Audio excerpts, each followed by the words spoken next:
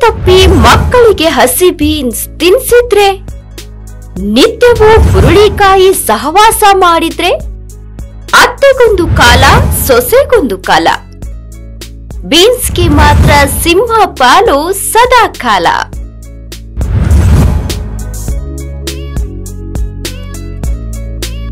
ನಮಸ್ಕಾರ, ಮೈಕ್ರೋಬಿ ಟಿವಿಗೆ ಸ್ವಾಗತ. ನಾನು ವನಿತಾ. ಬೀನ್ಸ್ ಅಲಿಯಾಸ್ ಹುರುಳಿಕಾಯಿ ಈ ತರಕಾರಿ ಯಾರಿಗೆ ಪರಿಚಯವಿಲ್ಲ ಹೇಳಿ. ದಿನ ತಪ್ಪಿ ದಿನಕ್ಕೆ ಅಥವಾ ವಾರದಲ್ಲೊಮ್ಮೆ ಮನೆಯಲ್ಲಿ ಯಾವುದಾದರೊಂದು ಅಡುಗೆಯಲ್ಲಿ ಬಳಸುತ್ತಾರೆ. ಇದರಲ್ಲಿ ಇತರ ತರಕಾರಿಗಳಿಗಿಂತ ವಿಭಿನ್ನವಾದ ಗುಣವಿದೆ. ಅದೇನು ಅಂದರೆ ದೇಹದಲ್ಲಿ ಅಡಗಿದ ವಿಷಕಾರಿ ಅಂಶವನ್ನು ಹೊರಹಾಕುವುದು.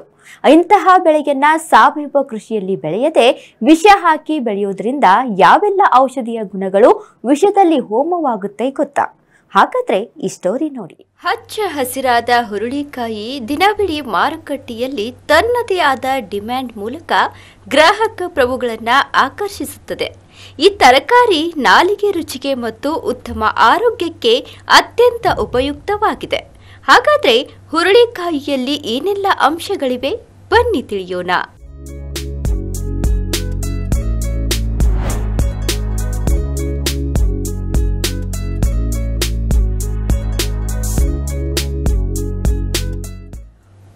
ಹುರುಳಿಕಾಯಿ ಇದೊಂದು ಅಗತ್ಯ ಪೋಷಕಾಂಶಗಳಿಂದ ಸಮೃದ್ಧವಾದ ತರಕಾರಿಯಾಗಿದೆ. ಹುರುಳಿಕಾಯಿಯಲ್ಲಿ vitamin A, vitamin C, vitamin K ಮತ್ತು ಫೋಲಿಕ್ ಆಸಿಡ್, ಕ್ಯಾಲ್ಸಿಯಂ, ಕಬ್ಬಿಣ, ಮೆಲನಿನ್ ಹೀಗೆ ಮುಂತಾದ ಪೋಷಕಾಂಶಗಳನ್ನ ಒಳಗೊಂಡಿದೆ. ಆದ ಕಾರಣ ರೋಗಾಣುಗಳನ್ನ ಬಡಿದೋಡಿಸಲು ನೆರವು ನೀಡುತ್ತದೆ.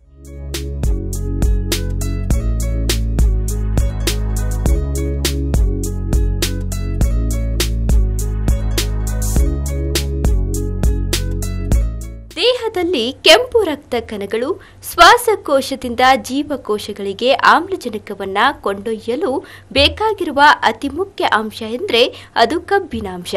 ಇದು ದೇಹದಲ್ಲಿ ಸಮೃದ್ಧವಾಗಿದ್ರೆ ಅನಿಮಿಯಾ ಸಮಸ್ಯೆ, ಮೆಟಬಾಲಿಸಂ ಸಮಸ್ಯೆ ಉಂಟಾಗುವುದಿಲ್ಲ.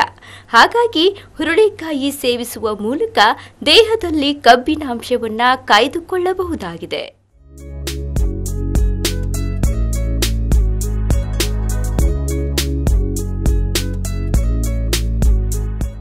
ಇನ್ನು ಚರ್ಮದ ಆರೋಗ್ಯ, ಕೂದಲಿನ ಬೆಳವಣಿಗೆ ಮತ್ತು ಉಗುರಿನ ಸೌಂದರ್ಯ ಚೆನ್ನಾಗಿರಲು ಮೆಲನಿನ್ ಅತ್ಯವಶ್ಯಕ. ಹಾಗಾಗಿ ಮೆಲನಿನ್ ಅಂಶ ಹೆಚ್ಚಿಸಿಕೊಳ್ಳಲು ಹುರುಳಿಕಾಯಿ ಸೇವನೆ ಬಹಳ ಅವಶ್ಯಕವಾಗಿದೆ. ಹುರುಳಿಕಾಯಿಯಲ್ಲಿ ವಿಟಮಿನ್ ಕೆ ಅಧಿಕವಾಗಿರುವುದರಿಂದ ಮೂಳೆಯಲ್ಲಿನ ಕ್ಯಾಲ್ಸಿಯಂ ಕಣಗಳನ್ನು ಒಟ್ಟಿಗೆ ಸೇರಿಸಿ ಮೂಳೆಗಳನ್ನು ಬಲಗೊಳಿಸುತ್ತದೆ. ಇದಷ್ಟೇ ಅಲ್ಲದೆ ಕ್ಯಾನ್ಸರ್ ಮತ್ತು ಹೃದಯ ಸಂಬಂಧಿ ರೋಗಗಳಿಗೆ ಆಹ್ವಾನ ನೀಡುವ ಪ್ರೀ ರಾಡಿಕಲ್ಸ್ಗಳನ್ನ ಓಡಿಸುತ್ತದೆ ಮತ್ತು ಕಣ್ಣುಗಳನ್ನು ಸುರಕ್ಷಿತವಾಗಿಡುತ್ತದೆ.